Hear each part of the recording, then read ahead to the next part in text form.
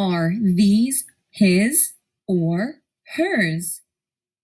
Written by Rachel Rice.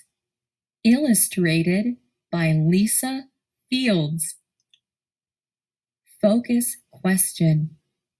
Why is the family doing the chore in the story? Are these clothes his or hers? These socks are his. These shorts are hers. These pajamas are his. These shirts are hers. These jackets are his.